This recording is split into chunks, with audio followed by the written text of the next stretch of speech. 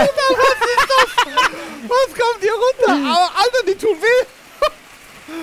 Was ist los, Alex? Moin ihr Sizzler, schön, dass ihr eingeschaltet habt. Heute machen wir einen unfassbar hochwertigen Burger. Er wird super lecker, schnallt euch an. Und eins verrate ich euch, er kostet keine 1000 Euro. Und da komme ich ins Spiel, denn worum geht es hier eigentlich heute bei so einem Video? Ehrlich gesagt haben wir ein bisschen überlegt, wie kann man es aufziehen, wie kann man es machen. Denn wir haben in diesem Video sehr viele Neuerungen. Und wie ihr wisst, nehmen wir euch ja immer sehr transparent, Step by Step bei allem mit, was wir so tun. Und deswegen stellen wir heute einmal einen neuen Fleischpartner vor. Ja. Das finde ich ist sehr, sehr wichtig und da könnt ihr euch auch wirklich drauf freuen, weil die Infos sind, glaube ich, sehr spannend. Und vielleicht noch die eine oder andere Neuigkeit. Was Johannes hier aufschneidet, ist etwas, was uns wirklich sehr stolz macht, denn es handelt sich hierbei um Wagyu Burger Patties. Und ich kann das ja mal hier so zeigen, weil dann sieht man auch, was hier steht. Hier steht Wagyu F1 Burger Patties. Und jetzt ist vielleicht folgender Punkt. Wer uns schon lange guckt, wer uns lange verfolgt, weiß, dass wir nicht nur auf eine gute Qualität stehen, sondern auch darauf Wert legen, dass es den Tieren gut geht, dass die Tiere gut gehalten werden und so weiter und so fort. Und beim Thema Wagyu kommt man in Stocken. Und deswegen haben wir uns da mal so ein bisschen vorgeziert und haben aber jetzt jemanden gefunden, nämlich die Wagyu-Zucht Nordfriesland. Wichtig ist Nordfriesland, denn Ich will schon mal. du machst schon mal. Mach du mal, Ich ich, ich erzähle meine Geschichte. Erzähl mal.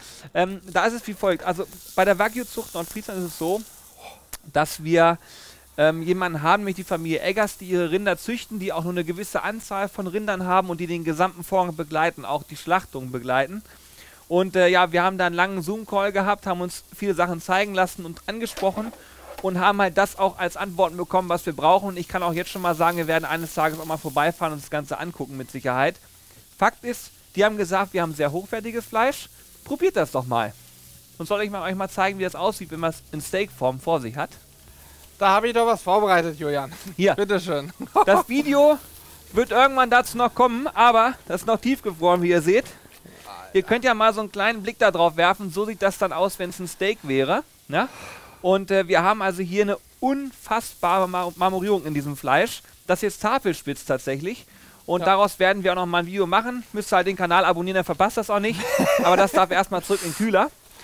Beim Grillen von so einem Vacuum Patty sollte man auch ein bisschen was beachten, denn so ein Vacuum Patty hat in aller Regel recht viel Fett. Hier wurde, meine ich, schon Fleisch noch zugefügt Ja, ja. im Vergleich zum Fett. gucken. Sonst wäre dieser Anteil Fett zu Fleisch zu hoch. Also wir liegen hier irgendwo zwischen 20 und 30 Prozent Fettanteil. Wenn ich das direkt auf dem Rost grille, dann kriege ich den Fettbrand meines Lebens. Deswegen mache ich das in einer Gusspfanne oder auf einer Gussplatte oder ähnlichem. Irgendwas, wo das Fett nicht runtertropfen kann.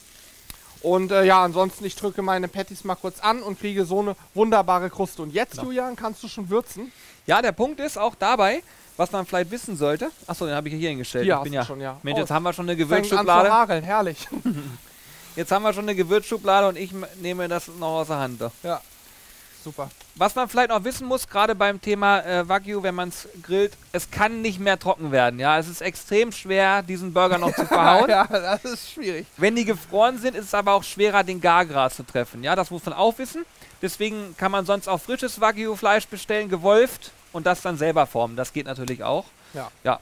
So, gewürztechnisch, ähm, da kann man im Prinzip mit Salz, Pfeffer arbeiten. Wir haben jetzt den Dalmatiner Rub von Ankerkraut genommen. Das ist Salz, Pfeffer mit ein bisschen Knoblauchgranulat und ein bisschen Zwiebelgranulat. Genau. Aber in so einer geringen Menge, dass der Geschmack des Fleisches eigentlich nur gepusht wird. Denn wir wollen bei dem Burger richtig diesen Fleischgeschmack haben. So ist es. Jetzt stellt euch mal vor, man dreht und es hagelt einfach. ich weiß nicht, ob man das mal zeigen kann, Aber aber in so einem Videodreh ist das eigentlich eine ganz feine Sache.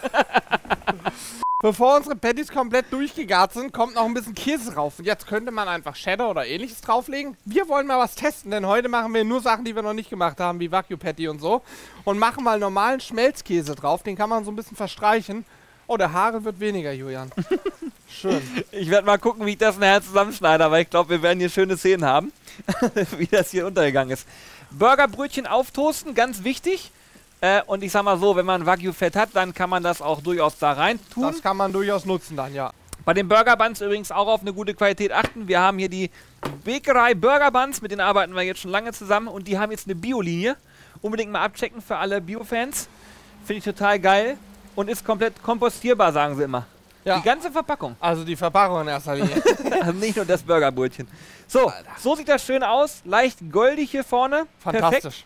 Ja, und jetzt können wir es belegen, wie wir wollen. Und jetzt möchten wir diesen Geschmack ja nicht übertünchen. Übrigens, wenn ich ein bisschen laut mache, riecht es daran, dass ich hier einfach überall von Unwetter erfasst worden bin. Mein Gehör ist schon hin. So, und zwar, wenn ich das nicht übertünchen will, nehme ich auch nur puristische Zutaten.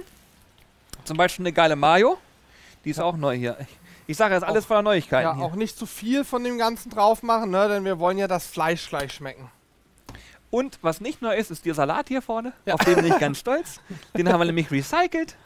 Vielleicht kann man das mal zeigen, wie Männer das machen. In so Hast du gut in so ein also Töpfchen da- Ey, die reingepflanzt. Schalen hatte meine Oma auch schon. Ohne Scheiß. Wirklich, ja? Die habe ich mit Liebe ausgesucht. Ja, ja, dachte ich mir. Und das ist ein dankbarer Salat. Der hat sie nämlich nochmal wieder entpuppt. Unten drauf. Patty mit Käse oben drauf. Bin mal gespannt, ob der Käse gleich beim Andrücken so schön. Weißt Oh, du, wie ich meine? Jetzt schon geil aus. Ja, und was soll ich euch sagen? Also so, finde ich, kann man auch mal Burger machen. Nicht immer so überladen, sondern einfach mal ganz easy. Easy Noch ein peasy. bisschen hier oben drauf. Machen wir noch einen zweiten? Ja, wir machen noch einen zweiten und zwar möchte ich gerne einen mit unserer Chili Cheese Soße machen, Julian. Statt Mayo. Ja. Ja. Oder unten Mayo, oben Chili Cheese. Was hältst du davon? Ich habe immer Bock. Chili Cheese geht immer. Ja. So, einmal hier für euch fürs Auge. Das ist Nummer eins. Fantastisch. Ey, der, dieser Geruch, ihr könnt euch nicht vorstellen. Das ist so intensiv, das ist so lecker. Achso, erstmal schütteln. Warte. Ich mach Schütteln unten mach ich. Mayo drauf, ne? Uh. Alter. Und jetzt diese super cremige Chili Cheese, ne? Ich mache nur Chili Cheese, oder? Okay, dann machen wir Chili. Ja, ist richtig so. Oh, guck dir das an, ey.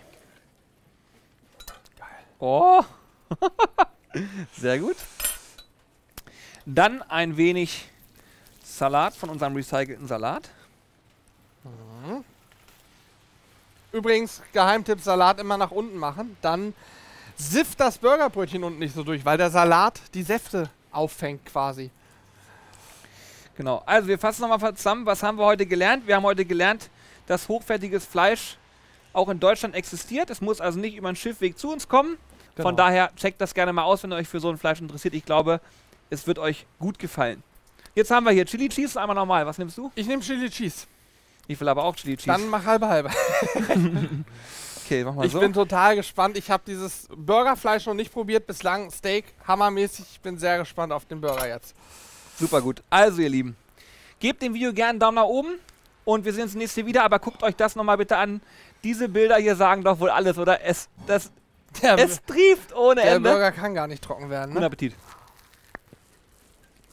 Mm. Mm. Alter. Alter, mit der Soße aber Hammer, ne? Die Kombi. Oh.